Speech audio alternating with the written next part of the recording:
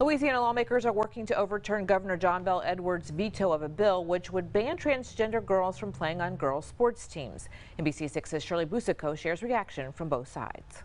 The Fairness in Women's Sports Act bill was vetoed by Governor John Bell Edwards last week, and since then, opposing sides have been expressive about whether that was a good idea. Biological male uh, compete against a girl, they have a biological, a biological advantage. So that's why it wouldn't be fair.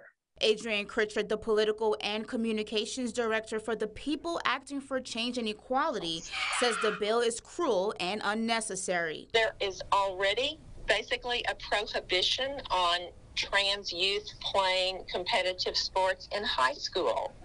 Um, they're not allowed to do that because of policies of the Louisiana High School Athletic Association.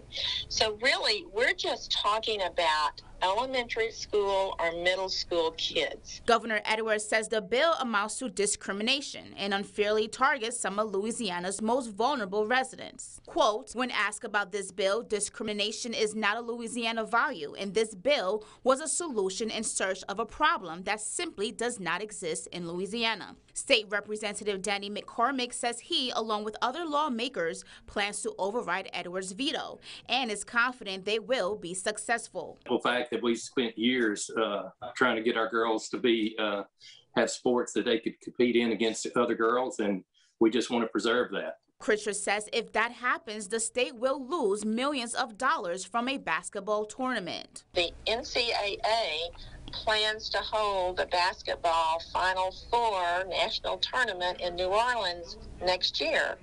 They've already said they will not come to states that discriminate and they would consider this a discriminatory bill. Shirley Busico, NBC6 News.